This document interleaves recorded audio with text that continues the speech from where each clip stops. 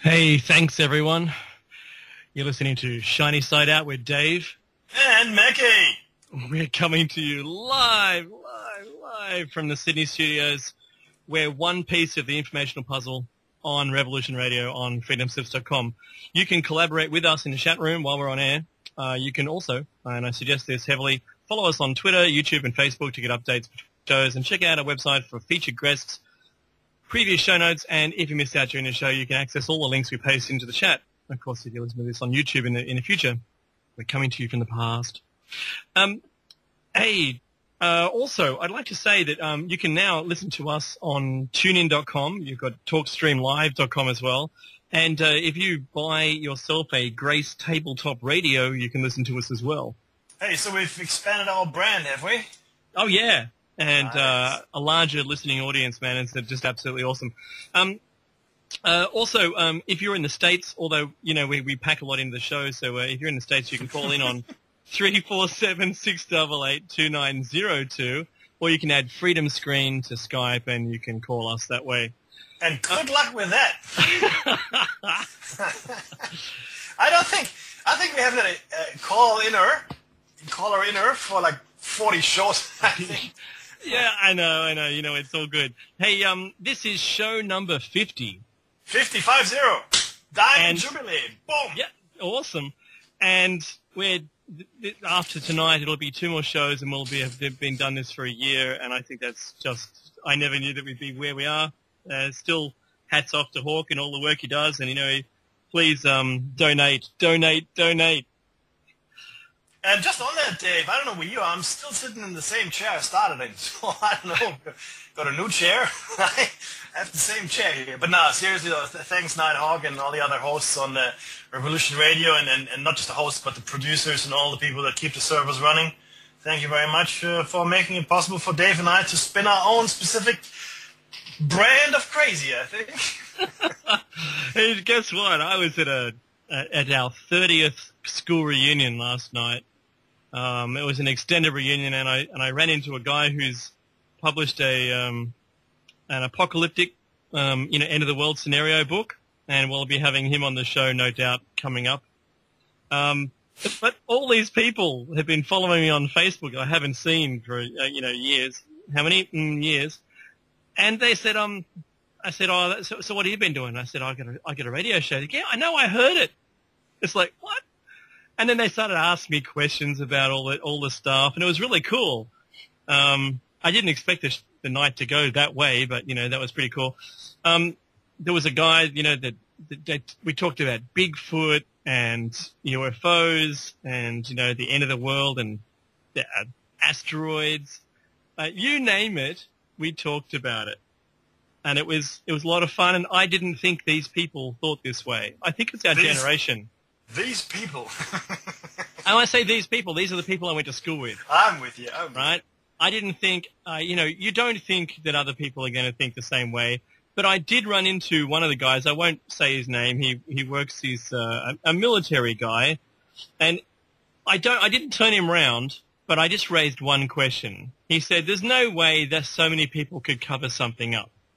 And I said, "Look, just pretend you and I were in the military, and I was told my by my boss not to tell you that I was working on something top secret. I'm not going to tell you, am I?" And he went, "Fair call." No, he's right. Look, you're right, I should say. Do you know, man? Um, people, yeah, you look, and this is, this, I just have, sorry, I have to give my two cents here. It is very easy to keep a secret.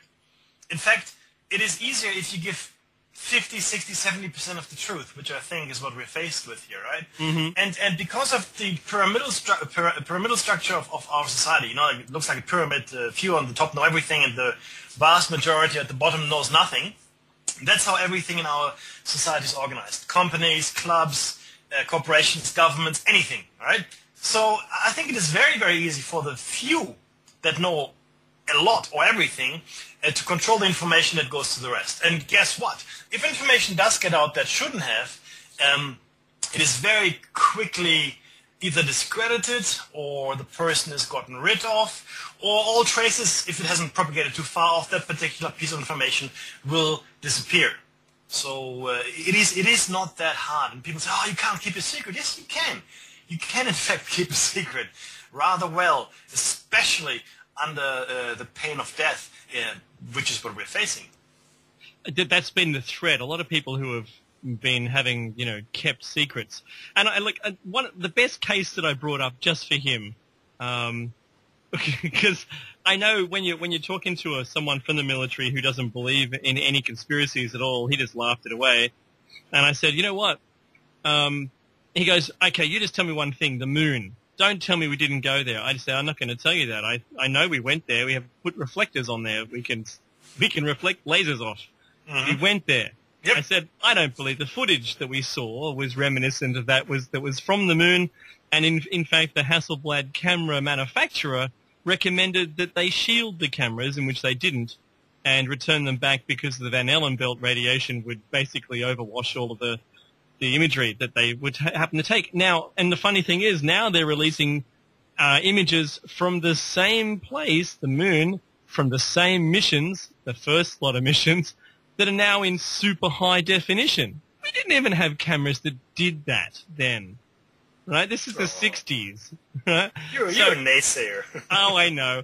And and anyway, so so what I said to him was, um, said, d- despite despite all all of that, you know, I said I I worked on on something I can't talk about, and he goes, what? And I said I can't tell you.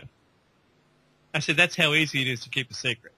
Mhm. So so just just go with it, believe that secrets exist. And I said, is there any government in the world that you don't trust? And he goes, no. And I said, so you believe that America's government tells the truth about everything? And he goes, well, yeah. I said, JFK assassination. He goes, oh, well, yeah, we all know there was two bullets. But I said, that's not what the findings brought out in a, in a court of law. They said there was the magic bullet, which was all impossible. Yeah, it went backwards in on itself. Exactly. And I said, if you believe the court system brought out all the information, then you, I, I, I can't help you, right? And he said, you know, fair call. It's all good. You know, I'm, I'm with you on it now. I, I didn't think, I, I think I turned around a little bit and he knows who he is. I'm not going to say your name. Um, Yeah, but the thing is this: even let me let me be, blunt. It's it's irrelevant if we if we turn um, someone's opinion or not, um, because at the end of the day, it takes the majority of us to to make a change, and unless the majority is going to do something, uh, we're all going down the toilet. And and this is really why we are so happy to reach so many people, right? Tens of thousands of people yeah, yeah. um, as we as we have these broadcasts in the states, you know, in Australia, in, in the English-speaking world, I would say, uh, on you know, English is quite a universal language these days. But guys, um, yes, it is it is a victory to to make uh, another person think a bit differently, maybe. Um, but to sustain that is really up to you.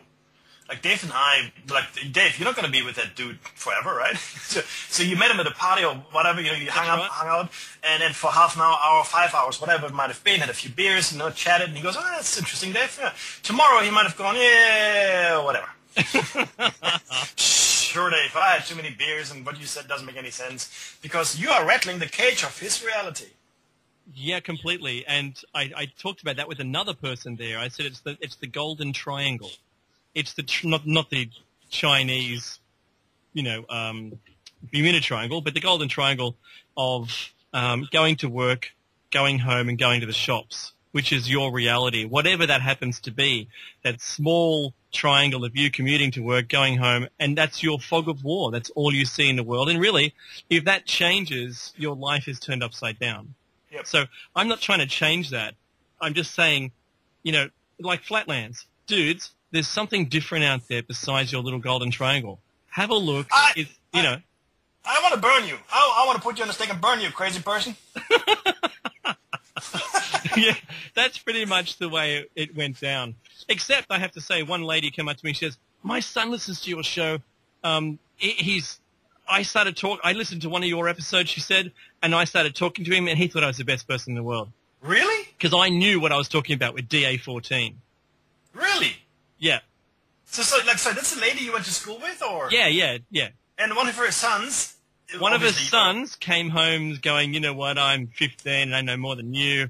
You know, DA14 is going to blah, blah, blah. And she goes, no, in, in fact, and she just shut him down. And she said, "Leanne, in fact, this is blah blah blah blah," and it was awesome. She said Oh, that wow. her son had a new respect for her because she knew what she was talking about. That's pretty funky.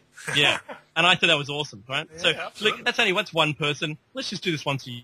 I'm kidding. Let's do it every single show to twenty thousand people, right? I'm with that. Um, so just just um, a newsflash. There's a massive storm rolling into where I live. I can hear the thunder in the distance. hmm I'm watching on the radar right now, actually. Oh, okay, you can hear. Okay, good. Yeah, so so if, if there are any transmission uh, uh, issues, guys, just bear with us. Uh, it's probably just me and that's going to be blank out.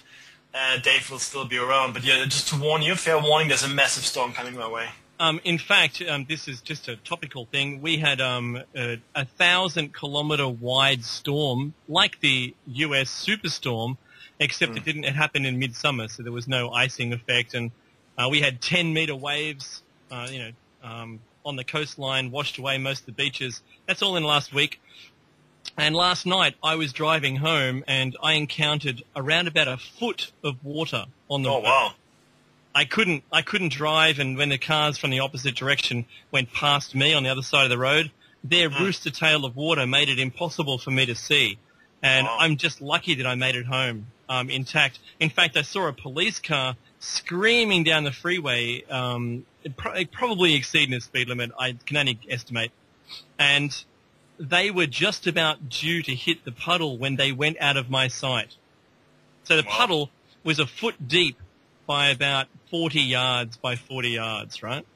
That's pretty bad. Across on all three lanes. And they were about to, I don't know what happened to them, but I'm only going to guess that they would have um, uh, come to some, you know, grievous bodily harm kind of negligent driving, the whole business, the poor thing. So, I mean, that was screaming under full, full siren and lights too. So they had somewhere to go. Um, okay, I was gonna, I just want to bring everyone's attention to. Um, uh, I was watching. There's a, there was a, a band in the '80s, and one of the keyboardists is actually a physicist, and now he has his own show on cable TV about the universe, and it, it's pretty cool. And in this show, he was bringing our attention to this thing, um, Mars, the red planet, and how you know, from 1972 onwards, there hasn't really been much photography that's come good. Yeah, we saw the face on Mars, the pyramids, Cydonia. All these names now are synonymous with Mars, right? The red Mm. planet, the, you know, um, don't get me started about the impossibilities of the Curiosity rover, which he actually brought up on air. He said this, this photo is impossible. And it was a self-portrait photo, high definition photo of the rover, the Curiosity rover, and there was he said you couldn't it can't be taken because there's no yeah, yeah, that, that's right. And they say on, I actually read the caption on, on the picture. It says uh, the you know it's it's taken from the extended telescope uh, uh, telescope arm or projecting whatever you know like some kind of antenna or, or but but I don't, I don't know if there's a pole on on, on the rover like that. And not only that, there should be a there should be a, a shadow or there should be some kind of indication that there is a pole, right? Rather than a, a, a disembodied camera hovering several feet above the rover. Yeah, which is exactly. exactly what it looks like. and and that it wasn't it was very similar to that one and I think it's just full CG. That's all I think. I think the whole thing is full CG and we'll never know the truth behind it. But but anyway, what they've done is they've I think it was not the Cassini, but there was one of the um, uh, the satellites that's orbiting around Mars um, has provided something like two and a half million high definition photos of one meter um, uh, resolution. Right? And all of these photos are available now for us to look at unedited, right, in full high definition on this website. I'm going to paste this into the chat room, and I because I want everyone to be aware of this. Um, hang on a sec. You just need to register, and then you can start drawing on it on the photos, um, and you can say whether it's a fan or a spider or or some kind of artifact, Uh, and you can identify these, and you'll be known as the person who finds these items. So it's incredible, and because there's so many photos, it's impossible for them to have gone through it all. But they've downloaded and bought the whole chunk of it. Now it's available on this website. So look, I urge you to go there. I found some images. Now I- I'm going to paste into the chat room also our image gallery. I took a shot of some of the discussion photos. I, I've, I've done, I don't know, 40 or 50 of them, and it's pretty fun. But I'm just going to put into our image gallery here uh, Mhm. a link. Now, it's the first photo in the image gallery, and it, I have to say, after seeing 40 or 50 photos, I did a lot of fans, which are sort of like a black dust that gets blown up from underneath the sand like a geyser and is blown across the, the sandy surface to make a fan shape. Right? I've done about about 30 of those already and marked the fans so they know the orientation of the wind, etc.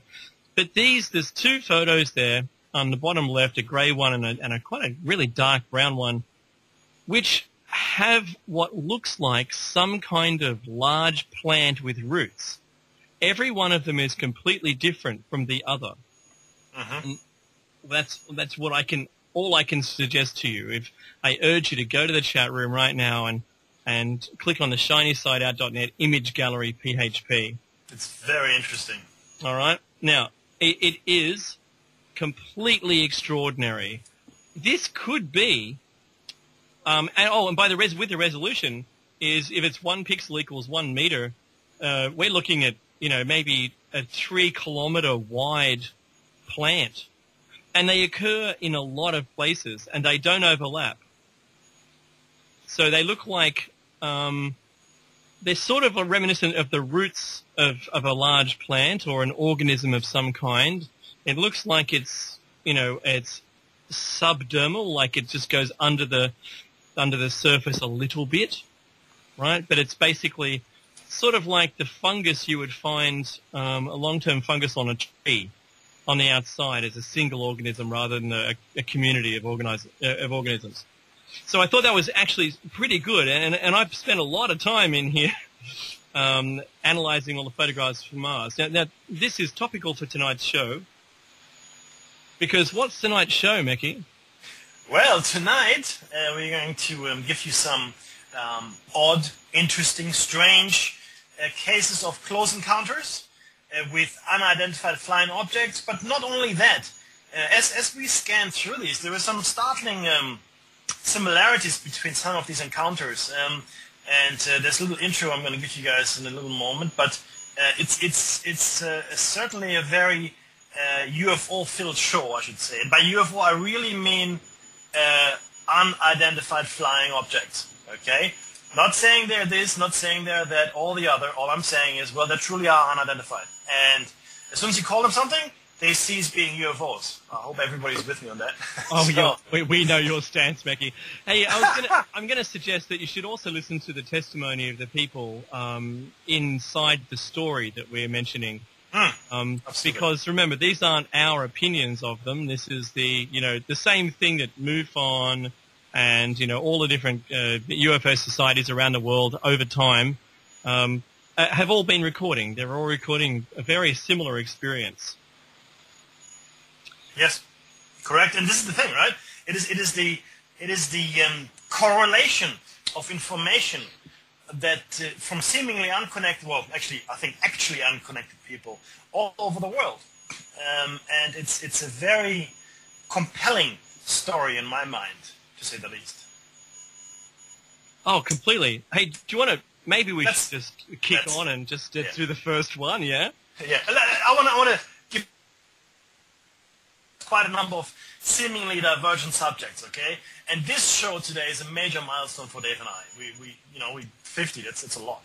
Um, and as such, we would like to bring you a truly tinfoil head material, meaning what we're going to present to you is is, is very controversial and uh, generally disbelieved by by the public at large, by governments, by whomever. Bear with us though. We're going to discuss some of the oddest items we've come across over the years uh, and in our research and specifically preparing for the show.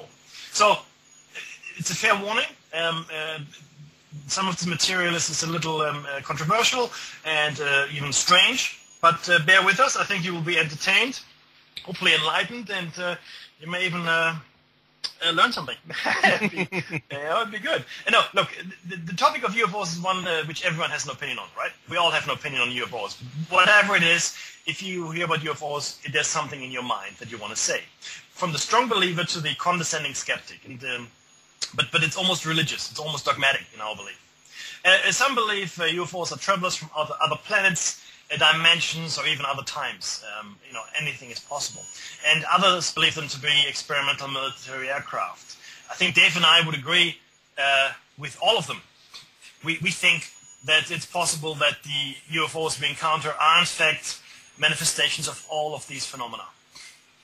And the stories below that we're going to present to you are from different countries and different eras to show that people have been reporting the same characteristics and attributes in uh, UFOs and extraterrestrials and so forth for decades and, and maybe even hundreds of years. Okay? Uh, we believe that in the future, the existence of intelligent uh, extraterrestrial life, at the very least, in this universe will be uh, seen to be um, self-evident.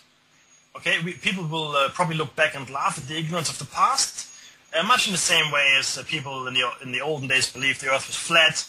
You know, the the Earth was the center of the universe, and the sun revolved around the Earth, and all of those wonderful fallacies that just um, arose from a lack of information. also, also in the last in the last twenty years, we've realised that animals have feelings. Yeah, well, exactly right. In fact, your your mental state can affect your your plant's mental state. Mm-hmm. And they, they, they do respond. I mean, people say, you know, if you talk to plants and whatnot, that's a good thing. And they usually say, oh, that's because of the CO2 emissions in your breathing, la, la, la. Not only that, not only that, but also because uh, they can sense your feelings, and they have feelings themselves. Uh, you know, there, there's, there's, there's a difference in the electromagnetic signature they emit. I don't know if you're familiar with Kirlian photography. We can probably talk about that in some other show, but we have certainly seen evidence for that particular effect, Dave. Right? Mm-hmm. Exactly. And that the, the, plants, just like on Avatar, the movie, they communicate to each other. Hmm. Yep. yep. And, and just because we don't see it doesn't mean it don't happen, right, guys? let's, let's Remember all the things we don't see. And now, uh, Wernher von Braun, whom we have um, belabored in the past, you know, when we spoke about the first nuclear explosions in the world, you know, and how he had become destroyer of worlds, he's got another beautiful quote for us. Uh, Here we go. Which, which, with which we can kick off this particular show. So he said this, you must accept one of two basic premises. Either we are in fact alone in the universe, or we are not alone in the universe. Either way, the implications are staggering. I agree. Mm-hmm. Because, you know, if we're not alone, that's astonishing. If we were alone, in my mind, that would be even more astonishing and quite lonely.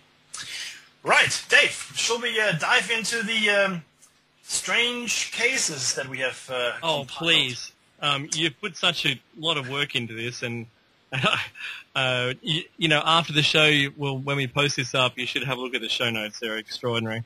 Today they're pretty good, yeah. But no, again, uh, this is compiled information that is freely available to everybody. Okay, so all we're doing here for you guys is compiling information, maybe um, you know editing it a bit, making it a bit more presentable. But the information is out there.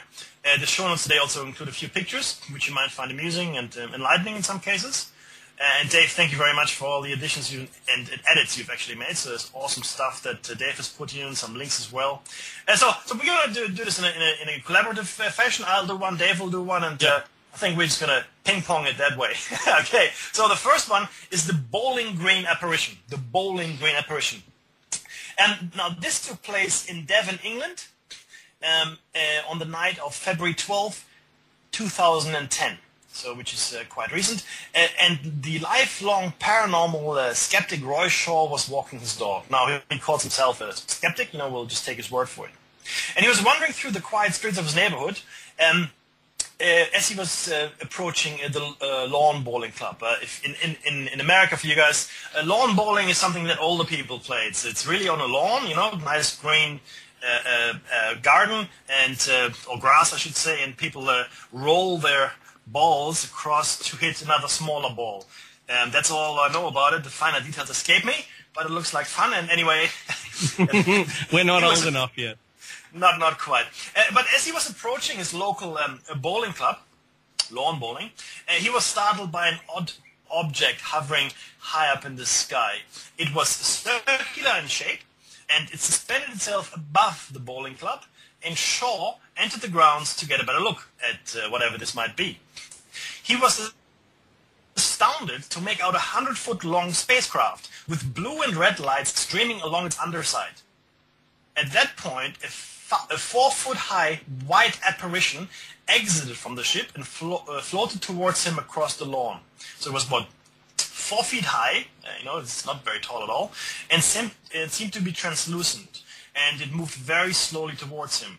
Uh, he was transfixed because it made a droning noise, which sounded like my, my, my, and repeated over and over.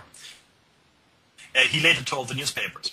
Um, his dog, Sydney, uh, interesting, an animal um, he stated uh, was normally very placid, began growling and baring its teeth at the spirit, or the spirit-like form.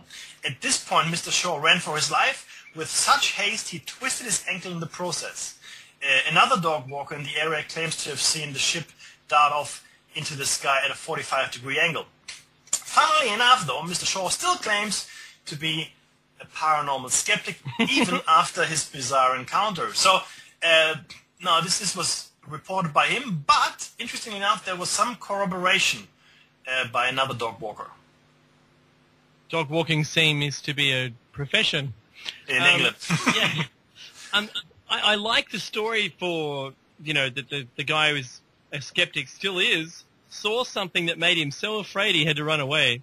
His yep. dog saw it and someone else saw it at the same time. Yep. But it also matches, let's just rate this, it, that it matches, you know, four foot high figure um, An apparition uh, is is the using the you know um, that guy's terminology or spirit because he couldn't believe it could be anything else. Yep, I like it. Um, I'll go on with the next one. Um, Good idea. this, is, this is uh, this one's titled UFO with an accent.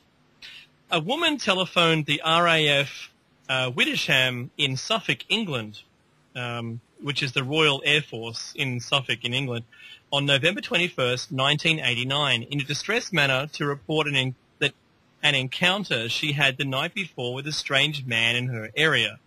At around 10.30 at night time, the woman was walking her dog, once again another dog walker, near a sports field when she was approached by a man with a Scandinavian type accent. I can't do one of those. I could do a Christopher Walken, but that's about that it. and a poor French accent too. Um, dressed in light brown overalls that resembled a flying suit, and we know what that is. Like it's an all-in-one jumpsuit kind of thing. Hmm. Um, a recently re- released report from the National Archives about this case reads: He asked her if she was aware of stories about large circular flattened areas appearing in fields of wheat and then went on to explain that he was from another planet similar to Earth and that the circles have been caused by others like him who had traveled to Earth. Uh, the man went on um, that their visits were friendly, but was ordered not to take, uh, sorry, not to make contact in case they were seen as a threat. That sounds consistent too. He said um, he disobeyed his orders. Good on you, rebel, rebel and felt it was important for contact between the people um, for this to occur. So I, I, swear I'd be such a nice guy. If we went somewhere, I'd probably do the same thing. Um, the MOD, which is the uh, Ministry of Defence in England, notes the attached uh, notes attached to the file describe the case as one of our more unusual UFO reports. The operator who took the woman's call described it as a genuine call. Interesting. And again, a dog walker, excuse me, you're quite right. This seems to be a Nordic uh, that she encountered. Um, mm-hmm. For those guys uh, out there that know what that means, you know, there's specific encounters that have all been classified, and, a, and a common one, or not that common, but quite common, is, is the Nordic type, you know, tall, blonde uh, um, visitors. And uh, yeah, look, uh, and yes, I, and and yeah, again, it's at night. It's near sports grounds, so uh, usually sports grounds are in fairly deserted areas. Not necessarily here, though. I don't know the area. Uh, interesting, though. Very interesting. Which brings us to the next case, which is quite strange um, and, and, really out there. This is called the Wyoming case, Wyoming, uh, United States. So in 1974, Carl Higdon was hunting in Medicine Bow National Forest in Wyoming. Uh, he was taking aim and fired at an elk, and something strange happened. His bullets seemed to move in slow motion. And this is something that, that we've come across now in, in a number of things, and you, I will point them out here as we go along, as will Dave. As he went to retrieve his bullet, a sudden strange feeling came over him. Okay, so there's, there's a lot of these experiences that people have is accompanied with a certain emotional state or feeling they get. Mm. So, like almost like a supernatural uh, uh, premonition, if you will. Yeah. And turning around, he saw a human a humanoid over six feet tall, uh, which he described as having a black jumpsuit, a white belt decorated with a six-pointed star, and emblem of yellow. It had straight hair standing out from his uh, his head, no eyebrows, bow legs, and long arms ending with rod-like appendages instead of hands. So, um, you know, almost like a, like a, like a cone hand, if you will. Uh, and this is the strange thing. Uh, the being asked him if he was hungry and gave him four pills, telling him if he ate one of them, he wouldn't be hungry for four days. Now, remember these pills, okay? So this being gave him four pills and he ate one. Uh, the humanoid uh, then pointed to him, and in an instant he found himself encased in a transparent device and wearing a helmet. Two more humanoids appeared, carrying the five elk Higdon had previously hunted. Now, elk are huge. They're big. They're bigger than cows. Now, they must be fairly strong and large to carry five elk. Be that as it may. And now these elk were now stiff and in, un, in an unnaturally frozen state. He was told he was going uh, to their home planet, some 163,000 light years away, and subsequently arrived there in a flash. Some kind of teleportation, I would imagine. Uh, on the planet, he said, there were many buildings that resembled the Seattle Space Needle, and the planet's sun was of an intense heat. Um, his next memory was of being back in Medicine Bow Park, in, in the National Forest there, with two and a half hours having elapsed. He staggered in a deranged state, unable to find his truck, eventually finding it three miles away.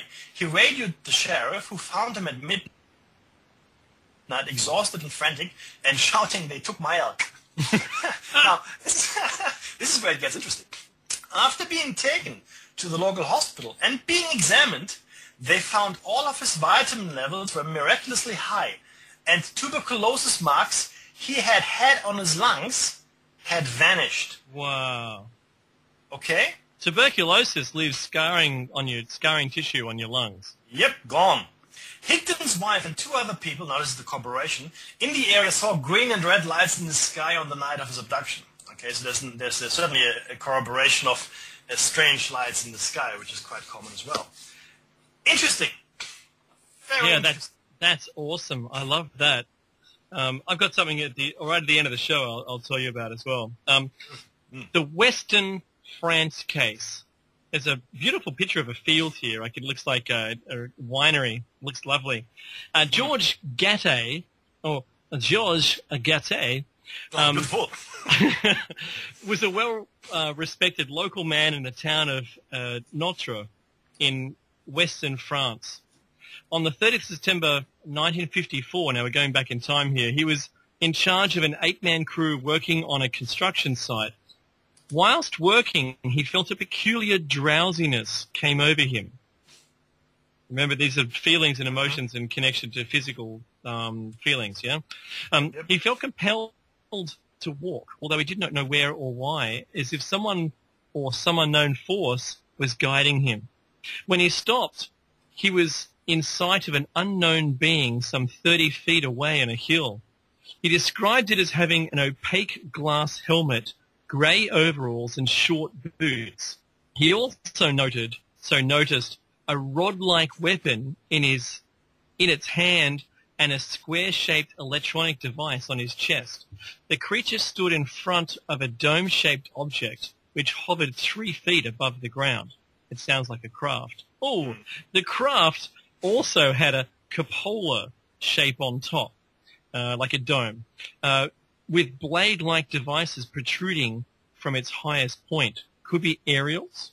Mhm. They wouldn't have had aerials. I suppose they would have in 54. Um, as he gazed in amazement, something even stranger happened.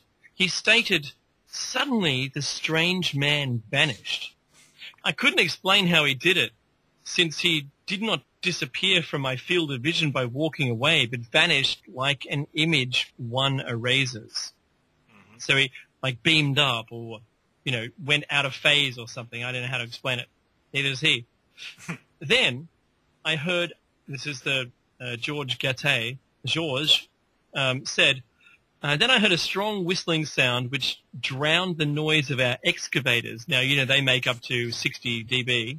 Mm-hmm. Um, soon, the object rose by successive jerks in a vertical direction, and then it too was erased in sort of a blue haze, as if by a miracle. Probably like a, a cloak or something like that. Gatte, different spelling, then ran back to the site to report what he saw and noted that at his first attempt to do so, he was overcome by an unshakable feeling of stillness after greeting his workers with a panicky, have you seen something? Two of his workers concurred with his account, claiming to have seen a flying saucer and a man dressed like a diver in front of it. Mm-hmm. That's that, description. That, yeah, completely corroborates, yeah? Um, remember, in those days, there wasn't scuba, right? Scuba hadn't been invented yet, so, you know, the diving bell, helmet, and everything still existed. Um, his seven co-workers complained of feeling inexplicably drowsy during the event, and George Gattei, or George uh, himself suffered headaches, loss of appetite, insomnia for the full following week. Interesting. So again, it's some kind of funny feeling, right? And and then a, a disappearance and out of a phasing out, if you will, like Dave said, of whoever, whatever was there. Um, and we're going to encounter this as we go along even more.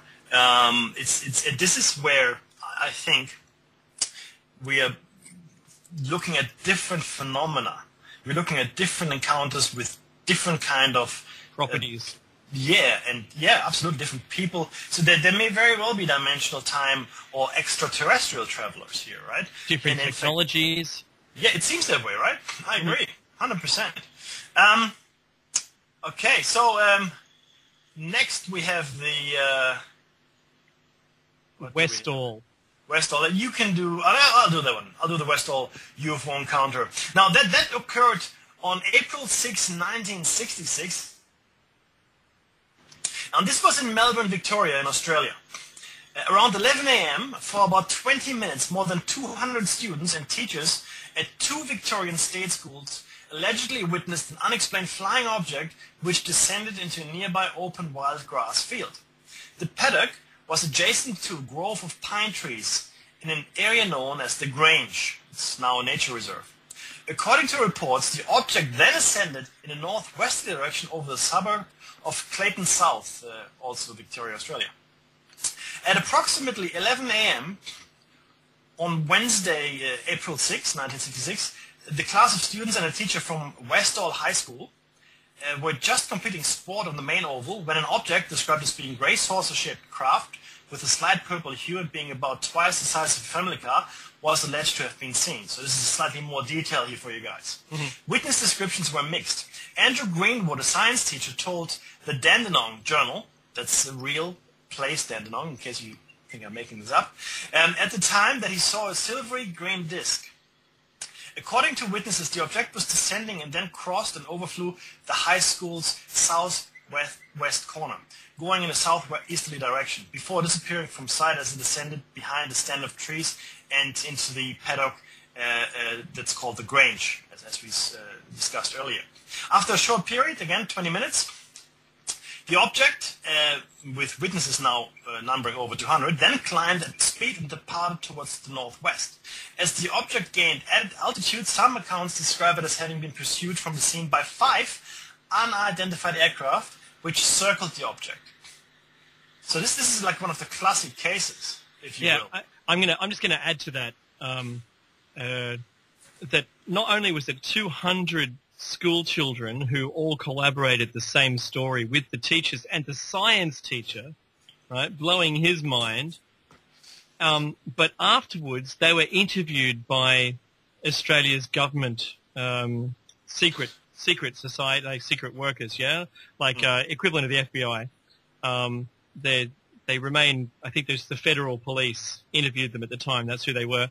Um, they were also told not to tell anyone about it um, and at the same time, one of the girls who had claimed contact, she there was a group of five or six of them that ran into the field, you know, helplessly, ran out, jumped fences, and got caught in barbed wire, and and ran uh, compelled to see what it was. Got through a clearing only to discover that there were beings there, and um, one girl, for in, in, in like just for example, um, was never returned to school. The next day, Oh, really? she yeah she didn't return to school, and the, the family and the girl have never been seen again. Oh wow. So um, it's come out for some 30 years later, and um, been you know uh, you know hit the media. They did a documentary on it, and it's it's Australia's biggest UFO sighting. Hmm. And I- I've even I've even put the documentary clip there, so when you want to uh, see this, you can check it out. Um, the Winchester woman. This is the one I like. This one a lot. Um, it no no, it reminds me of the the lady who grasped my arm at a funeral recently. Ah, The same kind of not not with the the frills in the in the picture there, but um, it could just be an older older version of her. Um, the local councillor for a Winchester in Hampshire, England, Mr. Adrian Hicks, was in the town centre on a busy Saturday afternoon during the early months of 2004. After having lunch in his local bar and purchasing a few books from the bookstore, he noticed something odd about a woman walking through the rural town's main street. They're normally called the High Street. Um, her clothes were somewhat unusual, and everything about her didn't add up. The way she moved and her general demeanor gave off a strange impression, which singled her out from the crowd. He followed her with his eyes for a few moments and came to the incredible realization that she wasn't looking at all human-like, but an extraterrestrial. It was staggering, he says. I'm not usually lost for words, but this day I was.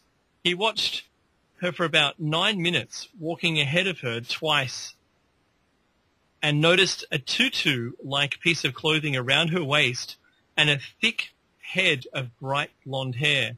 She was a humanoid walking with a penguin-like gait. She had very large oval eyes and was twirling her hands in a circular motion. She seemed friendly and totally at ease with us. She wasn't scared. She was smiling and seemed to be enjoying herself amongst us. Ah, the wealthy. Um, Hicks was startled when she stopped seven foot away from him when he uttered, oh, I can't say this on air. no, you can't. Um, um, what on earth is that? Under his breath. Um, she walked very slowly up the high street. See, I told you it was the high street. I remember she was very interested in the clock over Lloyd's Bank. She was taking it all in.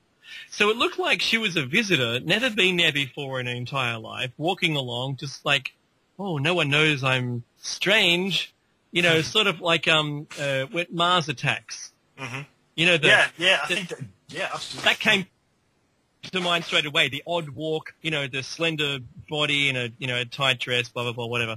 Um, he stated that several people noticed her without paying any extra attention and spotted some people taking pictures of her, though no pictures have ever surfaced. Hicks believes that the encounter is to do with a much larger alien presence in Winchester due to the secret US and British operations at a nearby base. An orthopedic technician with over 35 years experience, Hicks kept his encounter secret for five years in order to secure his place in local government. Good on you. Um, revealing his story only after securing election as a Liberal Democrat councillor. Now that's extraordinary. That's not the first politician to have done anything like this. Now he spent 400 pounds of his own money for an artist to perfect her image. He now lobbies for the government to come clean about its dealings with UFOs. Do you know what? That's that's good. Good on him.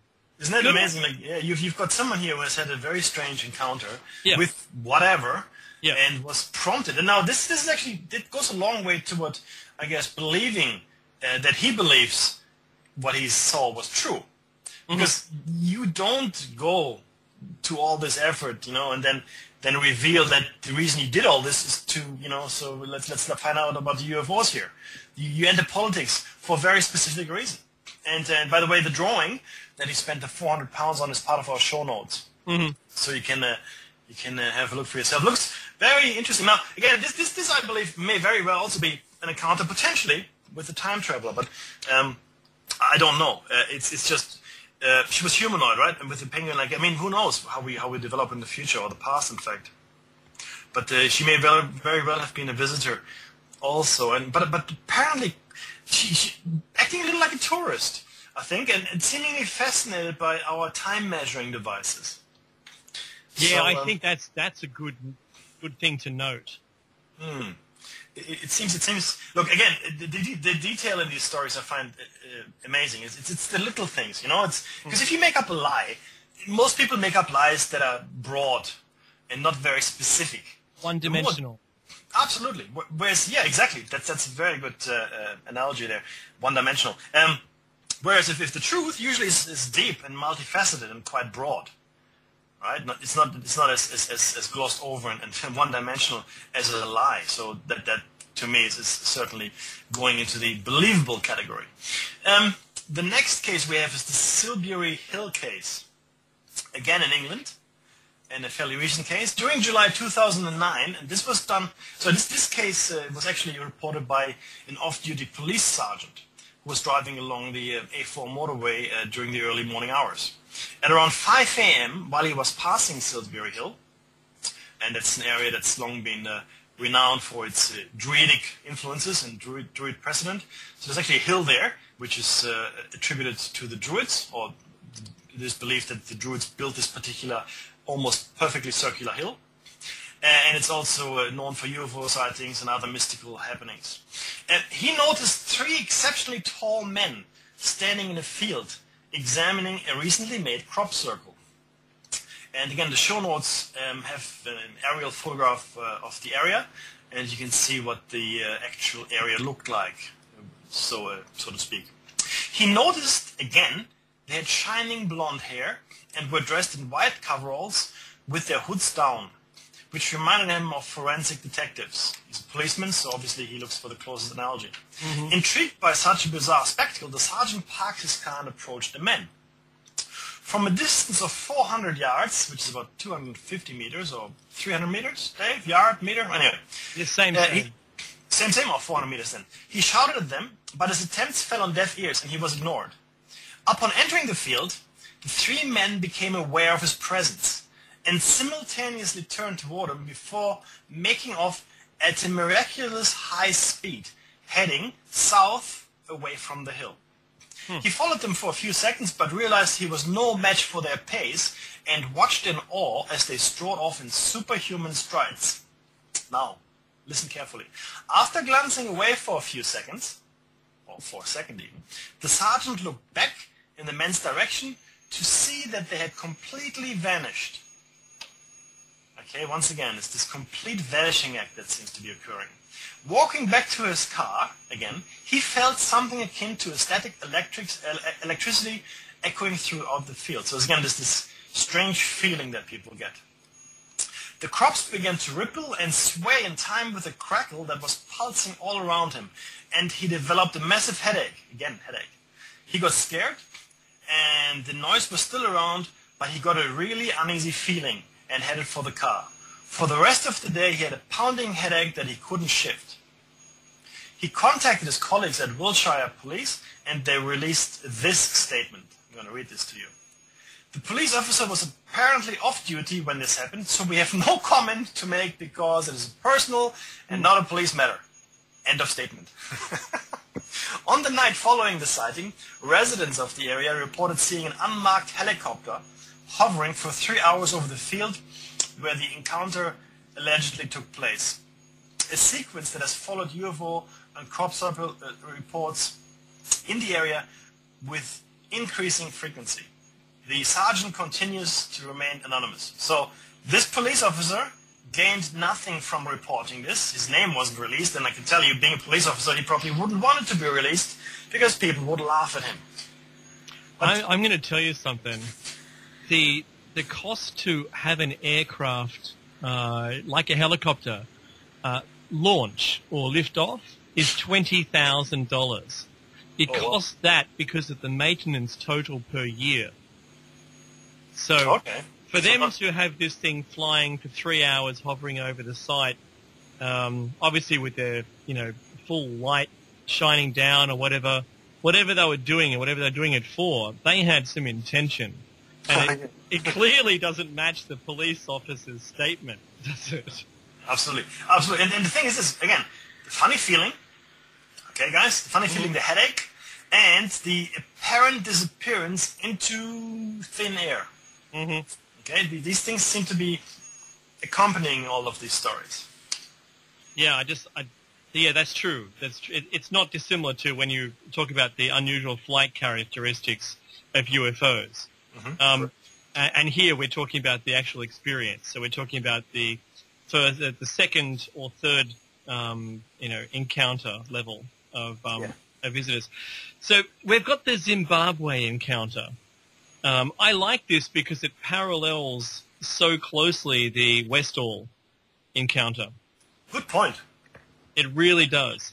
Uh, and but once again, there's, there's something unusual which I'll bring up after this one. Um, on the 14th of September 1985, there had been reports of a UFO, sorry, of UFOs in the skies over Zimbabwe, uh, in Africa.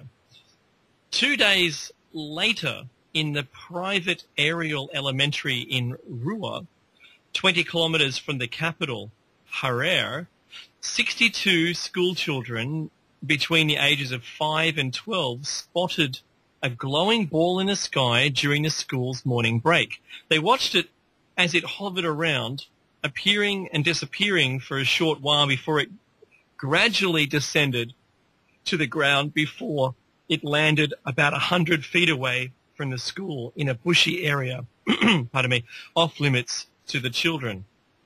A small man standing around three foot tall with long black hair, large eyes, and a slim neck, excited, uh, so exited the craft and began to walk towards the children.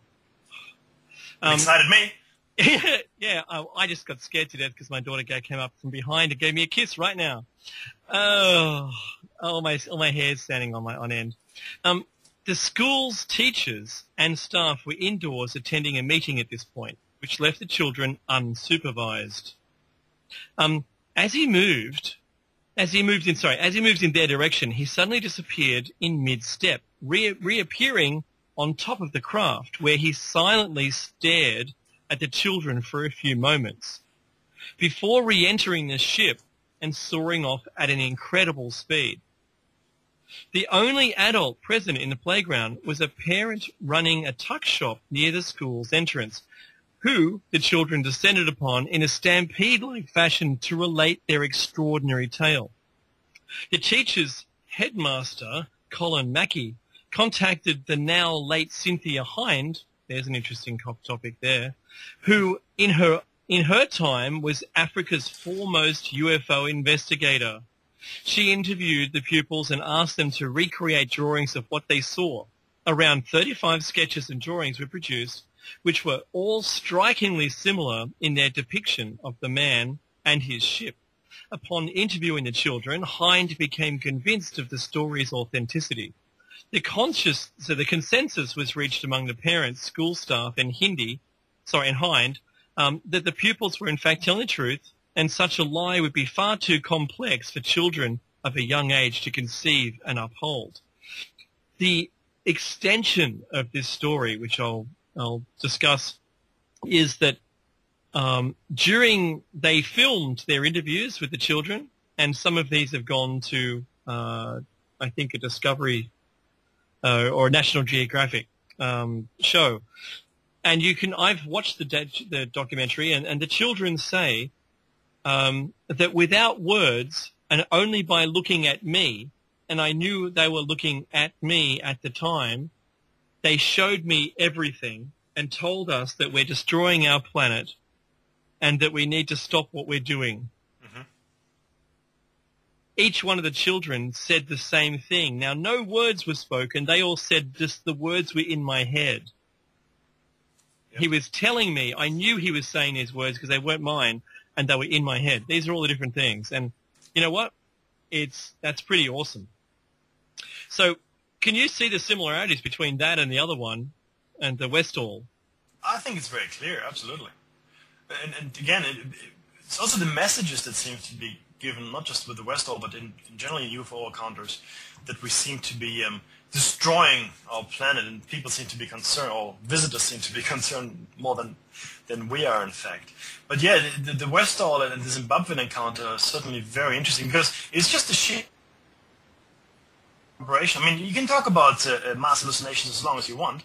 Um, for me, it doesn't explain the detail in, in what is being seen. And, well, and, I'm, know, go- I'm going to also tell you that the children that go to this school are uh, aren't socially trained by television. They have no electricity. Yeah, that's right. They haven't seen movies. They're in an isolated community. Um, and let me say, you know, there's maybe one mobile phone and you have to charge it off the car. Mm-hmm. right? So they're not they're not um, they're not like the rest of us. They haven't seen all of the Hollywood films. They're not used to this. They don't know what a grey is, and yet they describe the same person with large eyes and a slim neck. Yeah. It's impossibly small for the head size. That's right. And they talk about telepathy, and they have the same shaped ship as we're all used to. Like they, they've not grown up with this mat- material. That's not in their head. It's not in their psyche. They haven't been conditioned socially to accept it. They just went, wow, this is something new. I've never seen one of these before. Wonder what it is. And they all have exactly the same story. And welcome back to Shiny Side number 50 with Dave, and Mackie. And we're coming to you for live from the Sydney studios. Um, we're a small piece of the Pulse Eruption Radio and freedomsons.com. And you can join us. You know, Twitter, YouTube, Facebook, on air, in the chat room if you like. And Dave gave you the call number earlier. I don't think we were able to um, take any calls today. There's too much stuff here. And you can check out our website for up-to-date guest information, guest bios, and previous shows. Do remember to donate if you can. This is the listener-funded radio station. If you like the information you're getting here, if you find it interesting, entertaining, just worthwhile listening to, please donate because it does cost money to keep this service going. And we don't have any commercial ads, and Nighthawk doesn't get paid. So thank you very much if you can. Right, Dave. Strange UFO encounters. Um, that's what we're talking about. And the Sure next is. one, it sure is. The next one we're going to talk about is actually a personal favorite of mine. Uh, it's the Livingston case. And I'll tell you why it's a personal favorite after I tell you what it is. So on November 5th, uh, 1979, I was just 10 years old then, uh, Robert Taylor, a forester employed by the Livingston Development Corporation, left his house at 10.30 in the morning to check on some saplings he had planted at Dechmont Law, which is like a secluded forested hill area just off the M8 motorway. So again, we're in England, guys. Accompanied by his dog, once again a dog, he parked his pickup truck at the beginning of a forest trail and proceeded the rest of the way on foot. Now, that's when he came upon a very strange thing. Suspended in midair was a silent and motionless spherical object, which he recalled measuring around 20 feet across. Uh, by about 12 feet high, so so you know twice as tall as a man and about um, you know um, three or four times as wide as a man is tall. Made of a material he likened to black sandpaper. A row of small circular windows ran around the center of the object. A ring also protruded along the same course as the windows, that is, sitting just below the portholes. Parts of the object were transparent and seemed to morph, which gave Taylor the impression the object was trying to make itself invisible, or at least had the capability to do so.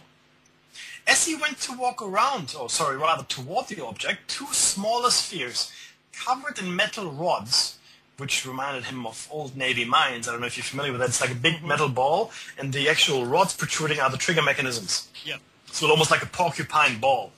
And now these balls, or you know, uh, spheres, ejected from the primary object and began to roll towards him. Attaching themselves to each of his trouser legs, they emitted an acrid, stifling smell which made him gag for air, and he eventually lost consciousness. He, he awoke to find himself face down in the grass with the UFO long gone and uh, his dog running around barking wildly. Again, we've got the dogs reacting very strongly to these kinds of phenomena. Attempting to summon the dog, he realized he had lost his voice, and trying to rise to his feet, he came to the horrible realization he couldn't stand or walk. He stumbled and crawled and lurched home. Uh, sorry, to his car first. He drove the car into a ditch, right, because he was quite uh, uncoordinated at the time. And then he sort of stumbled home. And upon his arrival, his wife thought he had been assaulted as he stood staying in the doorway. Uh, his face was grazed, his trousers were badly torn, and his clothes were caked in mud. Remember, he couldn't really walk, so he crawled to his car. He drove his car into a ditch. He stumbled home through the forest, so he was in, a, in, a, in a, quite a sorry state. She called the police, and an investigation revealed some very interesting facts. The section of land in which he encountered the UFO was covered in peculiar indentations, and none of which matched any forestry equipment or vehicles that uh, were being used, um, you know, uh, on, on, the um, on the property. So, so you know, some strange, and this is actually uh, some of the signs that you have in UFO encounters. You have some indentations of usually the landing gear of these things. They not have depressed the grass or left some imprints in the mud. The tears on his trousers, though, were forensically tested and were discovered to have been pierced by an unknown implement, with the nature of the pierce determining that whatever tore his trousers had attempted to lift him in an upwards direction. Taylor never gained financially or in, other, in any other form from telling his story, uh, which never changed from when he, when he first came to light in the 70s up until his death in, uh, at 89, uh, age of 89, in 2007. So for almost 40 years, 30 years, for almost 40 years, he didn't change his story and he never gained from it. However, and this is why I like it uh, very much, the Livingston case remains unsolved to this day and it is the only UFO case in the UK which has resulted in a criminal investigation. So something something real happened here, right? And I'm not saying what it is because there's no corroboration from anyone else, but certainly there's no I guess there's no benefit for Taylor to have lied about this in the, in the way he did. It made no sense for him to come up with this very elaborate story, if you will. I mean, if he had just driven his car in a ditch, well, you know, I drove my car in a ditch, you know, sorry, it happens. But it's, it's certainly a very, very interesting, interesting story, especially uh, the tears in his pants, which, which seemed to have been made by something that was trying to lift him up, potentially mm-hmm. into the sphere. I don't know. Who knows? Do you know what? Absolutely. It's not the only UFO sighting in the world, though. Uh, the Travis Walton case had a criminal investigation. Oh, absolutely. No, this is one. Yeah. I, I, know, but solely in the UK. I, am yeah. bringing it home, sort of connecting it to the American listeners. Yeah. Mm-hmm. So um, that's an extraordinary case, and certainly for England and the MOD. Um, you know, and the DoD for that matter, um, for them to, you know, um, embark upon a criminal investigation means that there was something to it enough for them to warrant uh, checking it out further. Um, I, I like this one because it, it has the descriptions of things that are very vivid. Um, also hovering off the ground. I like I like everything about this this case. It's just another one of those things. If you if you if you listen to um, the uh, Disclosure Project um, media conference, and he says there's 52 known species, and only one of those is the humanoid. Um, in but you can only imagine that if that's the case in reality, that there's going to be varying technologies from here or there around the universe, and if if each and each one of these cases doesn't have to be the same as the other with the same technology. Mm-hmm. I like that about this too, that it opens it up. Um, Absolutely. It does really, you know, it opens it up to to the full understanding, and I think um, without without what's his name? I forget the, the guy's name. He leans forward into his microphone and said, "There's 52 species of, of aliens that are visiting this planet at the moment." right? And they're all humanoid except for one. He said, which raises the case that we were created by them. Mm-hmm. You know, how can everyone be humanoid looking? Um, my favorite. yeah, go on. This, this is great. This, this is great. my absolute favorite of all time because um, it raises more questions once again. Now check mm. this out. This is the popsicle stick Viking boat from 2009 in the Netherlands. So um, I'm going to tell you just a bit about the guy first. So this is a 31 world record breaker and former Hollywood stuntman, Robert McDonald. Um, what he did, he started a brand new thing. When he was a child, for instance, um, he was blown up in a gas cylinder explosion at his family's house, and he spent most of his um, childhood um, in hospital with serious burns being repaired. Um, and he didn't get very many visitors or Christmas. He was forgotten about his, you know, birthday, everything. And um, he took it upon himself once he'd done all these movies and become popular to just visit hospitals giving toys to children in hospital. That's, That- nice. that's an extraordinary person. He Yeah. he's you know self-made. He doesn't need to do anything. Made, he decided to go on a new venture, and that was to build a Viking boat out of used ice cream sticks, or we call them paddle pop sticks, or uh, popsicle sticks. They're a wooden stick about maybe five inches long, rounded ends, very flat. Anyway, he it took 5,000 students four years with 15 million popsicle sticks to build a 50 foot long Viking ship replica. Seaworthy, right? Completely seaworthy, yeah, yeah. That's, that's amazing. in fact, in fact, the engineers that were looking at the plans going, oh, you know, in, in the beginning, no way is it going to work, discovered it was, you know, more than 19 times stronger than the original. because it's laminated. yeah, of course. right? Laminated timber is, is much stronger than, than just pure timber. Um, and he earned also a place in the Guinness Book of World Records um, in 2005 because um, during the test for floating um, an, a, homemade vessel, uh, it has to float for an hour and a half to, to get in there. And then this one being the largest one, the largest recycled object on the planet as well. Mm. Um, okay, so that's the background. So Captain Robert McDonald appeared uh, recently, um, as I think back in 2009, um, on a radio show, and this is where I bumped into this story. Um, uh, I've got Dutch heritage, and I, I've I've asked some of my my relatives who knew exactly what this was because it was not filtered out by the Dutch media because it was in Dutch, um, but Western societies were never told of this. All you can, all you'll know about it is that he floated the boat out there and something happened, it broke, and that was the end of the story. Whereas the continuation of the story is this. Um, he was uh, out in the shipping lanes um, with a bunch of students, like I think 20, 20 kids on board this vessel, um, going to go uh, to England and in the boat, and suddenly the ship became um, grounded and lifted out of the water uh, on an orange sphere, an orange glowing sphere, not a solid orange, but a glowing illuminated sphere. And the um, the a rescue ship that came to find him didn't notice the flare he'd set off, just that his ship was hovering out of the water, sitting atop this orange glowing sphere. Um, what happened afterwards, uh, his ship was towed back, the mast was broken, the electronics were fried, uh, all the things that, you know, EMF. Um, when he was returned back to shore, um, he was approached by the men in black who confiscated both the ship's log and all the documents on board. Um, to note the electronics were all uh, melted.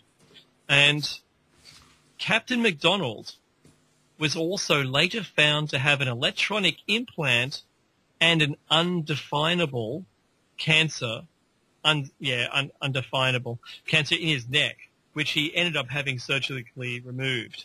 Now, the um, the rescuing ship in the collaboration of this.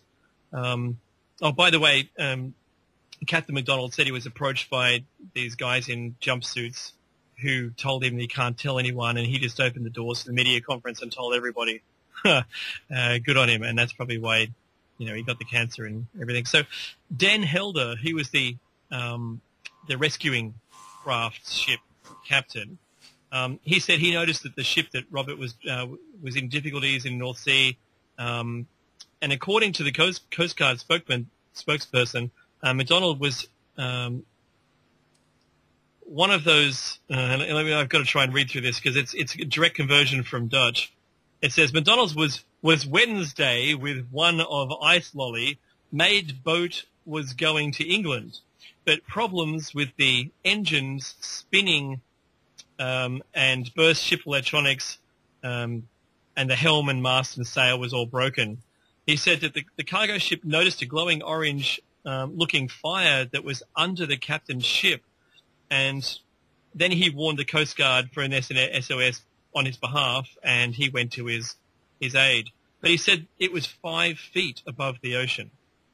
Mhm. So this this you know multiple ton vessel. Anyway, it goes on, but Robert in the interview stated that the orange glow came from beneath the ship.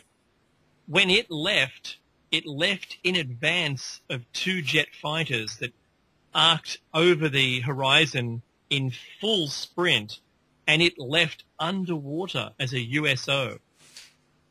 This orange light went back down underwater, dropping their ship to the water, and then fled underwater. He noticed a helicopter circling above, and when he got back, he no- uh, the only other thing that was notable was these these odd men in black in black flight suits or jumpsuits with an orange orb on the epaulet and blue berets. So these these have been these same guys have been found around the world whenever um, you know that the public might be informed about um, the orange orbs, and they're the cleanup crew for it. hmm So they might be the liaisons on Earth. We don't know. We don't know. But okay, but the story from the from the rescuing captain matches the captain of the you know the, this Robert McDonald, and they corroborated. And um, yeah, and he wasn't. He was told never to tell anyone about it. I think that's one of the most extraordinary things. I've also got all the links in the uh, the notes that which I urge you to to, um, to look through, and one of them, in fact, is the um, um, is the full transcript from Dutch, and you can do your own translation yourself on it. And in fact, he's he's got a group on Facebook, um, which is also noted in the story, and he's changed his life from helping children to try to bring to light the UFO cover-ups and conspiracies. And in fact, because of his experience with the USOs, um, what's the underwater object that's found at the bottom of that thing? It looks like the Millennium Falcon, Meki. Ah, the North Sea. It was recent. Yeah, yeah, absolutely. Um, I can't remember what it's called, but essentially it was a very large object that was found in the North Sea between, uh, I guess, between England, uh, Denmark, and Germany. Yeah. Well, he's he's he was rung up. He was called by the people investigating this as the world's you know underwater object specialist, or not, and he's off doing that. But Judging by his, go on. it's another guy whose life has changed, like the liberal Democrat Yes. Yes. Right. who's who went into politics is now is trying to get this all the information lifted. This guy was just a nice guy going around giving toys to kids, and mm-hmm. now he's trying to uncover this orb, the orange orb sensation. In fact, in his story, which is now it's gone off Facebook, off YouTube. It doesn't exist, so all the links will won't work. And I've actually asked the guy who performed the interview if I can have a copy of the audio. Um, uh, he said there's even one called the croissant, a croissant of Florida, which is the size of a Walmart and is orange, and it's it's always submerged. He said that they've only it's only ever poked its head out, but come back down again, back under the water. And I think that you know if if there was one of those plausible origins of of these these craft um, underwater, you know, it's what four fifths of the Earth's surface is water. It makes sense that you could completely disappear under there and have a whole civilization that we couldn't touch. Yeah. Not only that, but but life has existed in the oceans for a lot longer Yeah. Exactly. um, than, than than on the surface. Uh, just want to talk about the guy itself, himself. Looking at his track record and the things he sets out to accomplish, and it's no mean feat to build this popsicle Viking ship, or get this organized.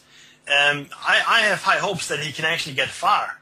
What I have fear, though, is that he may be stopped because, you know, obviously he's ignored the advice of the black men, uh, or the men in black, if you will. yeah, you don't want to do that, whatever that takes, right? Don't. Well, um, you know, I'm, I'm concerned for his safety um, because again, you're right. The, the YouTube, um, there was. I remember the, the videos we looked at when it first happened, Dave, um, and they're gone.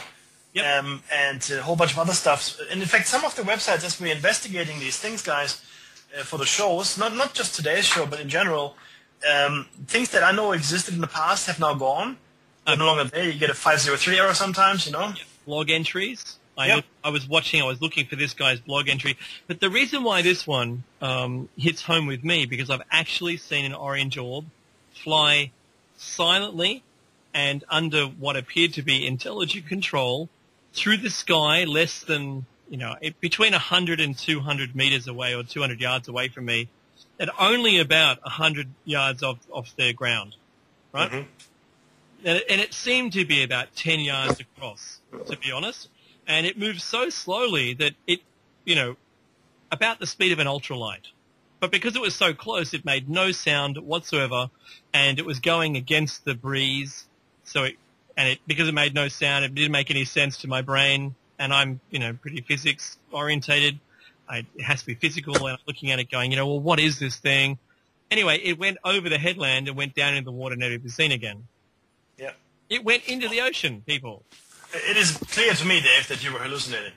Or, or Thank you. probably you probably misidentified a weather balloon. You know, That so swamp gas. That's what it was. trying to a flock of low flying geese. Um, With, uh, yeah. the gear on.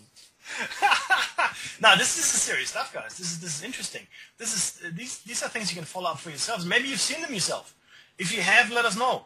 Very interested in, in, in finding out what you think. Um, please uh, let us know. Um, which which which brings us to to another very well publicized case, not in the English speaking world, though, in the in the I guess in the, the Portuguese speaking world or the Latin world more more than anything, uh, because it did happen, in fact, in Brazil. It's called the Varginha case. Uh, Varginha is the place. Um, and uh, this happened on January 13, 1996. Um, NORAD, in fact, tracked an uncorrelated, meaning uh, an- a non-registered, unidentified object soaring above the Western Hemisphere on that day. It entered Brazilian airspace and the uh, which is the Integrated Air Traffic Control and Air Defense Center in Brazil, was contacted by NORAD, who in turn alerted the Brazilian Army Command address uh, Cocacos. Okay, and I do uh, apologize for the mispronunciation uh, of all of these words. And uh, it was given the instruction that all wings of the Brazilian military were to be put on high alert. Now, uh, wings refers to um, fixed and uh, uh, variable, um, uh, um, non-fixed uh, uh, wing aircraft. So all aircraft were put on high alert in Brazil. Um, the rumors of uh, mass UFO sightings began sweeping throughout southern Brazil in the days that followed. And events made a significant development on the 20th of January, some seven days later, when witnesses in a rural town in the state of Minas Gerais reported seeing a submarine-shaped craft cruising 20 feet above the ground, which appeared to be damaged or malfunctioning. It eventually, um, I guess, crashed more or less. And at daybreak on the 21st of January, strange creatures were seen wandering around the town in an incapacitated and horribly confused state. Now, this is the description of the villagers. Um, the villagers erupted into frenzy and notified the police and fire brigade, telling them the town had been overrun by monsters from indigenous folk tales and even the devil himself. Remember, people will cling to the closest analogy they can comprehend. Tales of demons and devils and chupacabra and all of that are coming to mind naturally when you confront something you can't easily explain. The army was quickly contacted and according to several witnesses, two of the creatures were captured without resistance, with one being subsequently shot dead and the other being transferred to the hospital Humanitas uh, to receive treatment for the injuries it sustained during the crash. So they kill one and they fix one. It's a little strange. Um, the orthopedic surgeon Leir, that's his name, uh, L-E-I-R, interviewed when he was interviewed, said he was instructed by armed officers to begin a surgical scrub and prepare to form a fracture reduction on what was obviously a leg. Uh, um, Leir then went to interview the other surgeons and assistants that attended the surgery, who all stated the operating theater was sealed except for one entrance, which was manned by armed officers who were unaware of what was in the theater. The flow of military officials and hospital personnel into the room was strictly monitored, with only a small essential team of staff being allowed inside. Corrective surgery was performed on a fracture of the femur of its upper thigh, with, members of the Brazilian Army S2 military intelligence division being present at the surgery. So obviously the creature had some kind of femur uh, in its upper thigh, so it's, it's quite humanoid, of course. The bipedal creature was described as being around five feet tall, with massive red eyes, a thin neck, and dark brown skin, which looked wet, but was dry to the touch. It also had three bony protuberances on three sections across its head. So almost like fins, if you will, on top of the head, or ridges. And from its anatomy alone, its sex was indeterminable. All attempts made to communicate verbally with the creature were of no consequence, and its wound completely healed within 24 hours. After surgery, the surgeon turned to see the uh, alien eyes fixated upon him. He then began to feel hammer, hammer-like blows to his head, and chunks of information began to pound and cram into his mind, which he described as being like thought grams. So it looks like some very crude, well, crude maybe because we're not equipped for it, a form of telepathy. Okay, so the information was really rammed down into his brain. Interestingly enough, the surgeon never revealed the full extent of what the alien told him. But among other things, it told him that its race felt sorry for humans because we are largely detached from our spiritual selves and are unaware of the amazing things we can accomplish, uh, which its own race already had. Okay, again, it's it's it's it's this uh, concern that other creatures, visitors, have for us for some reason. Two days later, several witnesses saw U.S. military cargo planes land at Sao Paulo airport, uh, which um, was presumed to collect the crashed craft and its occupants. It's a fair assumption. Uh, the story was picked up in its most basic form by the Wall Street Journal, who ran it on the front page as a story essentially dealing with the downed unknown object in Brazil. Uh, Ubirajara Rodrigues, uh, an attorney and um, Varginha UFO uh, case expert, obtained a copy of the death certificate of a Corporal Marco Chereze, an officer who died three weeks after he supposedly touched the creature with his bare hands. His death certificate states the cause of death is being from a toxic substance and an Ebola-type disease, hmm. although the full report of his autopsy has never been revealed. Interesting. Again, not entirely unbelievable because, you know, as soon as two un, unknown cultures meet each other, diseases are usually what uh, wipes one of the other out. Spanish and the South Americans. 100%. Smallpox. Yep. Now, this is where it gets interesting. In the weeks that followed the event, and you can look this up for yourselves and do your own research, a surprise visit was paid to Brazil by Warren Christopher and Daniel S. Goldin. Now, who were those guys? Now, those guys were at the time the U.S. Secretary of State, Warren Christopher, and the director of NASA, Daniel S. Goldin. No way, really? Way, baby. yes, sir. And now Lair, the, the surgeon, was shown several authenticated documents concerning agreements between Brazil and America which allow any material coming from space that is found in Brazil to be turned over to the government of the United States. Hmm. Really, that's an interesting agreement. In in turn for some, you know, uh, money that they've paid them. Yes. Oh, I'm sure that's that's true. to to top it off, there are literally hundreds of witnesses across Varginha from all walks of life who can attest to these events having taken place. So there are police officers, school teachers, peasant farmers, and government employees. They're all united under the belief that extraterrestrials crash landed, crash landed in their city uh, at the turn of 1996, and they all witnessed it with their own eyes. Now, this next part I love, and, and please do listen carefully. The official explanation that Major Eduardo Calza of the Brazilian military gave as the cause of all of this UFO hysteria surrounding Varginha was this and I'm quoting, it was an expected dwarf couple and a mentally handicapped dwarf, he told investigative journalist Bruce Burgess during interview for his documentary, The Brazilian Roswell. Hmm. So it was three, three dwarfs, one of them mentally handicapped. And the other one was pregnant. Correct. Okay, that's the official explanation. Make of this what you will. now, deep or buried deep within inside the US, mil, uh, US military's own records are also bizarre and very well documented cases, which we're going to go through with you now. So this this comes from uh, the US military's own records here.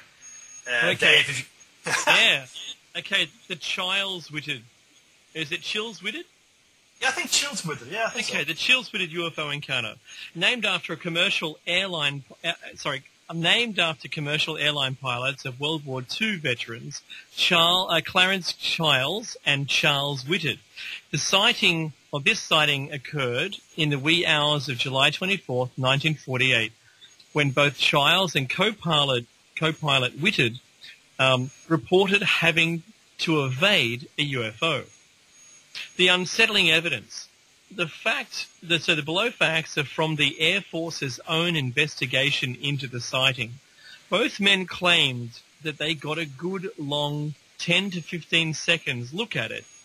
And if you think it's because both men had been dropping the same as minutes earlier, um, know that one of the passengers in the plane, one of the few who were awake at the time, also saw it. Everyone involved described it as a rocket-like ship, conical in shape with two decks lined with windows, which produced an almost blinding light from beneath the ship. The pilots got on the radio, trying not to sound crazy, crazy, um, I can't help it, the trigger word, um, asked if there were any experimental craft in the area, which is their normal procedure.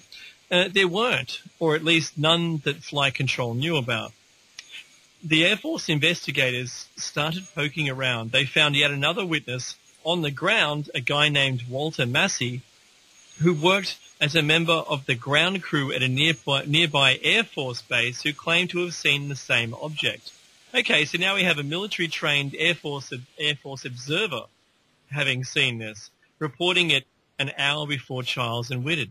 Wow, so we saw it before they did. Then, strangest of all, they found out that the same object, right down to the two rows of windows, was spotted in the Netherlands. Well, they probably just heard about the Charles Whitted sighting and wanted to, to jump on the bandwagon, right? Well, only if they had time, a time machine. It was reported a month earlier. Boom. Wow. So the official explanation. Firstly, the military dismissed the Charles Whitted encounter as a weather balloon. Good on you. Um, but then they retracted that explanation typical US military, and floated the idea that it was a meteor. Sure. Okay.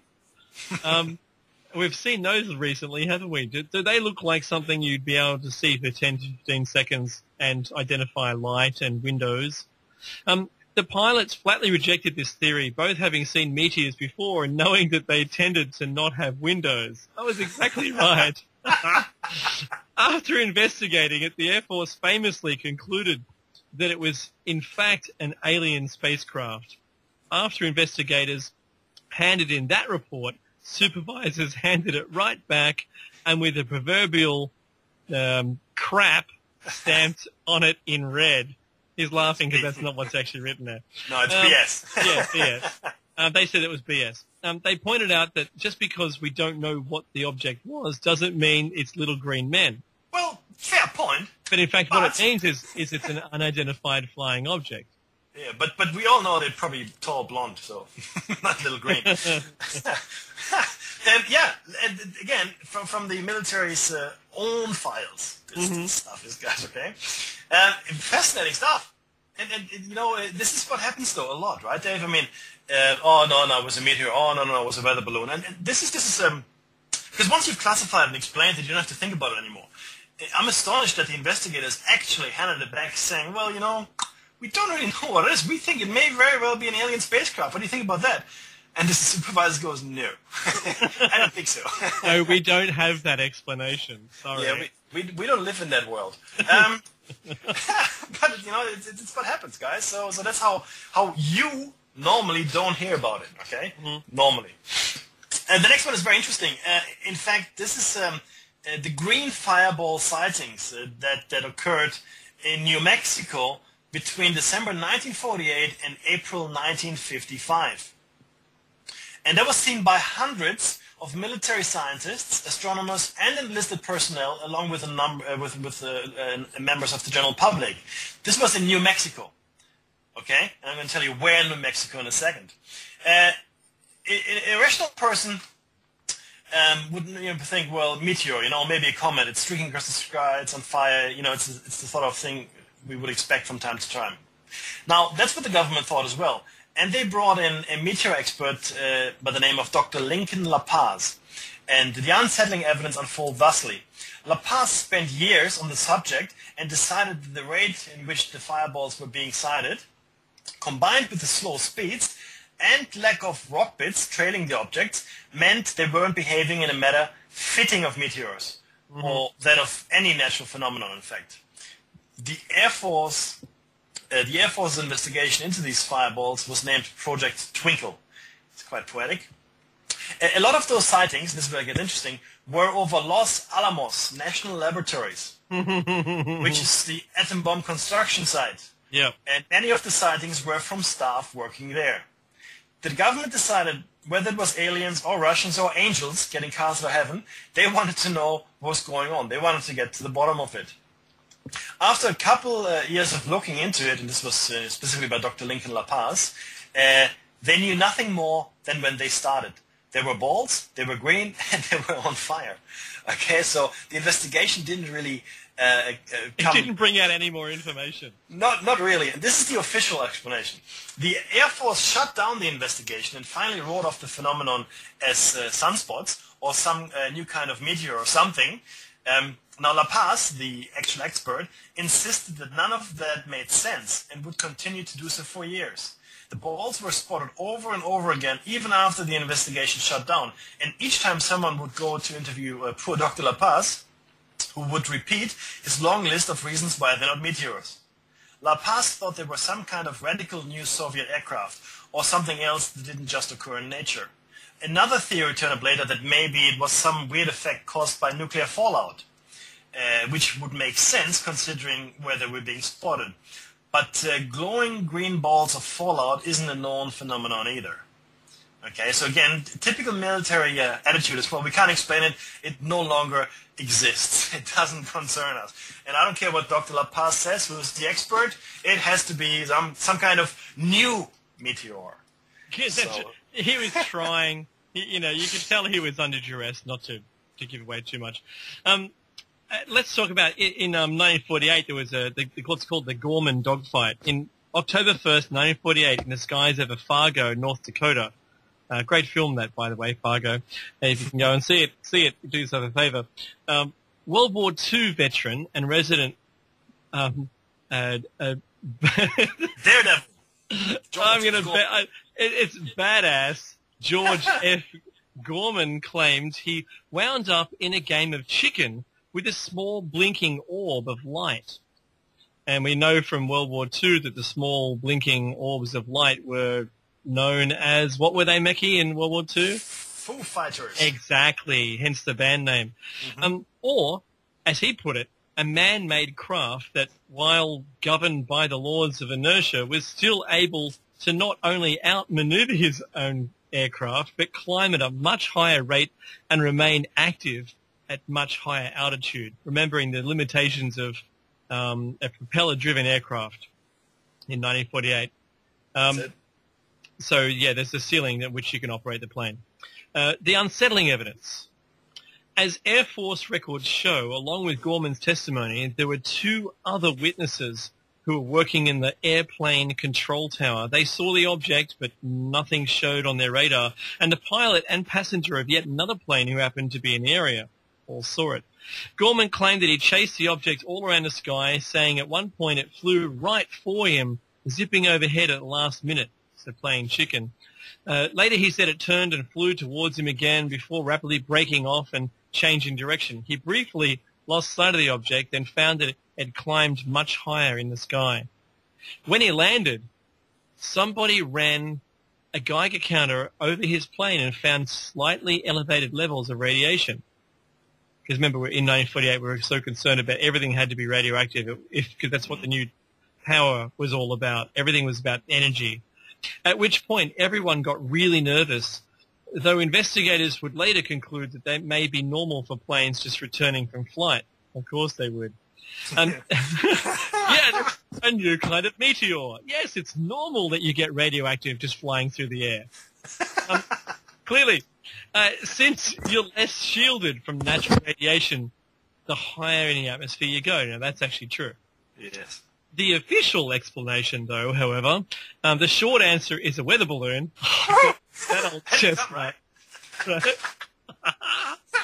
uh, the long answer is that the Air Force decided that Gorman, a highly regarded fighter pilot and war world, so World War II veteran, had gotten really, really confused. That's their explanation.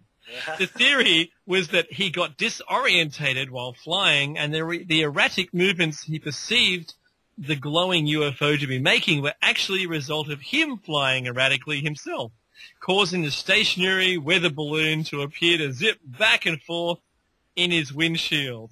That's ridiculous. Oh my goodness. when he lost sight of the UFO and picked it up later, the theory went that he actually was chasing the planet Jupiter. That makes perfect sense to me. my head is in my hands. official explanation, guys. This is truly the official explanation. yeah, good. yeah, yeah. So it's like the X Files, but the, the kids version. It can't be anything but Jupiter and a confused pilot. Mm-hmm. now, now you're going to mention mention one of my favorite historical ones, Mecky. Yeah, no, this is the Washington D.C. UFO incident, and if I'm not mistaken, and I may be, the movie um, "The Day the Earth Stood Still" may have been based on this. Mm-hmm. I have to look at the production date for "The Earth Stood Still," but essentially between July 13 and July 29 in 1952, a series of UFO sightings were reported over Washington D.C. And witnesses would include an Air Force pilot, people on the ground, and in case you're the type to never trust the testimony of fallible human beings. Uh, we have readings from two separate radar stations as well. So this, these UFOs actually appeared on radar.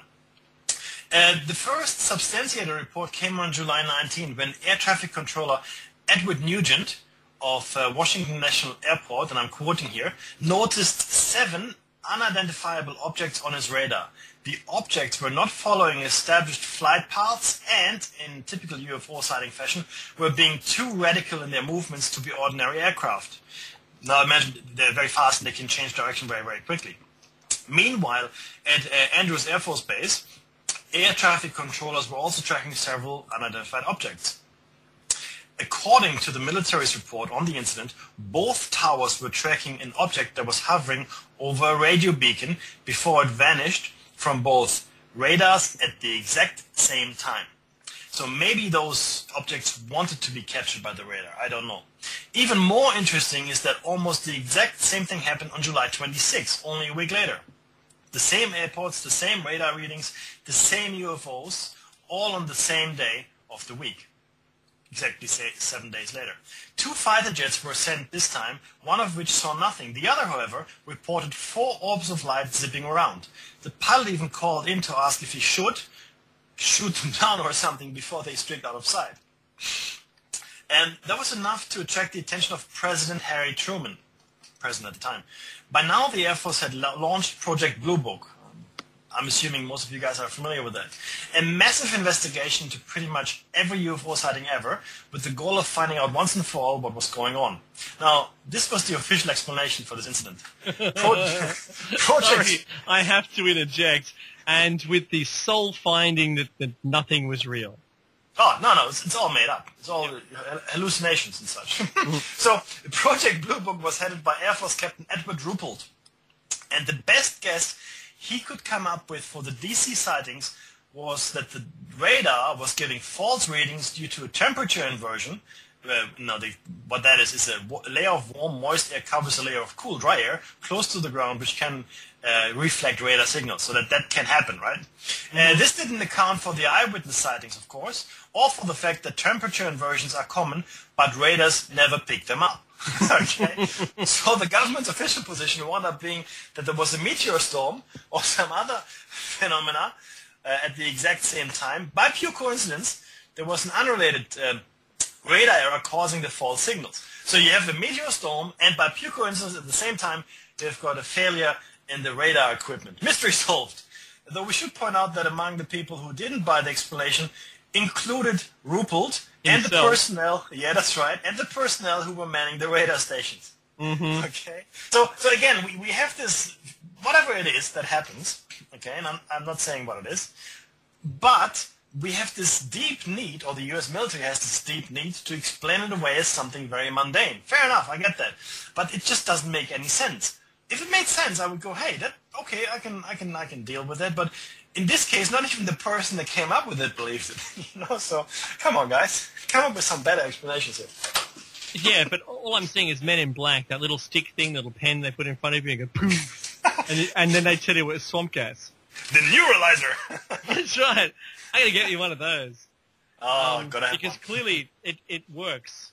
These people are convinced that this is a great idea and a great ex- explanation for it. Absolutely. The, yeah, look, the next case is closer to home, Dave. Uh, very interesting to us in Australia, I think. Yeah, yeah, okay. So this is the, the Valentich disappearance.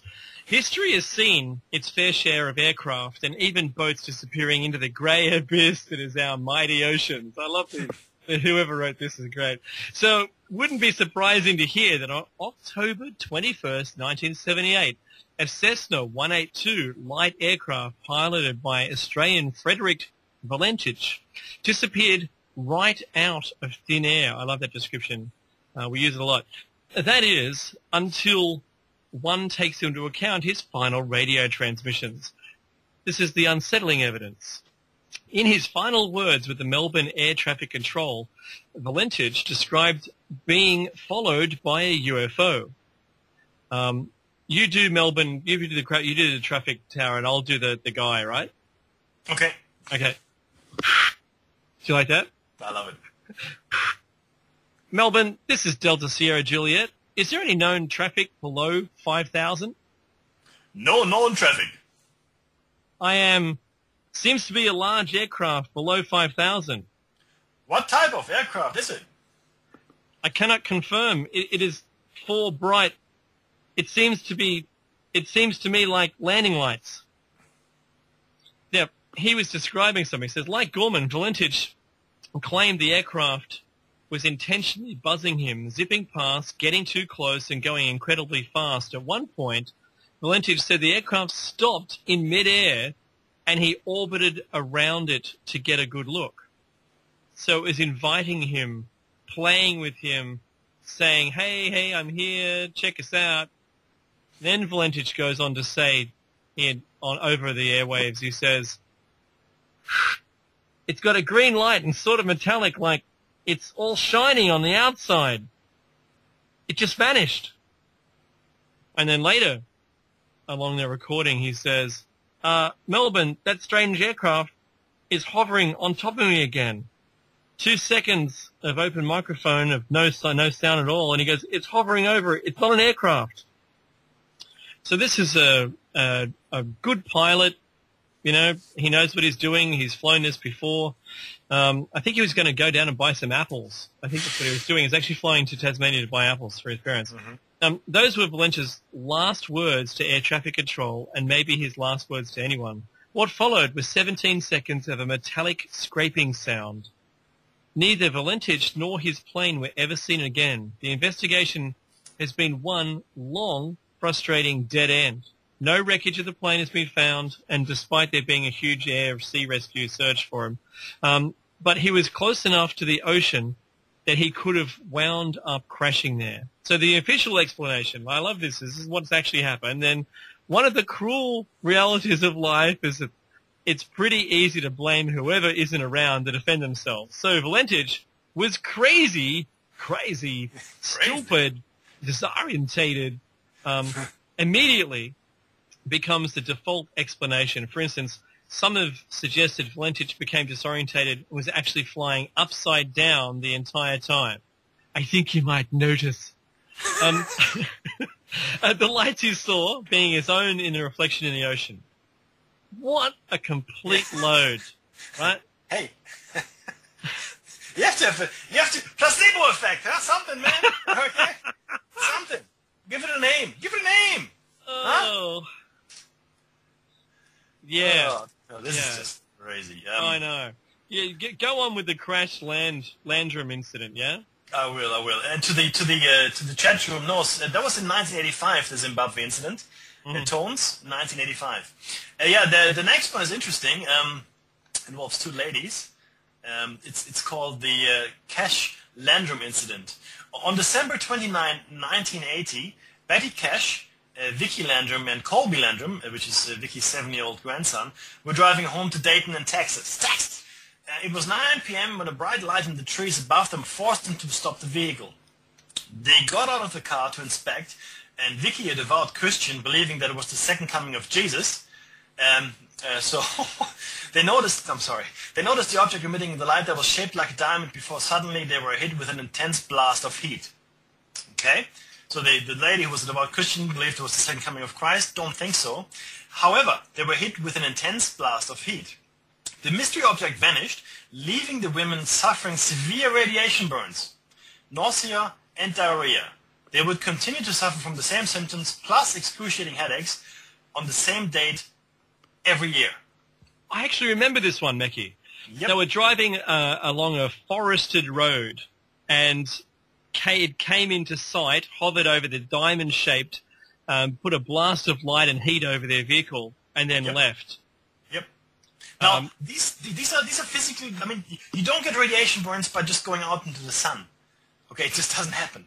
Or, or by witnessing a meteor streaking through the sky, Correct. or a So is helicopter, for that matter. off any yeah absolutely so this is this is tangible this is uh, these these women had severe radiation burns and what i find interesting is like stigmata these symptoms would occur uh, for, for for many years on the same date every year afterwards Mhm. plus the headaches i think we've mentioned the headaches many times before right Yeah, the- so, so far, it's a running theme through this. absolutely well. so some, So- Yeah, completely. Uh, I've actually seen those ladies interviewed with the grandson um, way back uh, when when it occurred. Yeah, okay um, on on TV. Mhm. Okay, okay, Chupacabra. I love this one.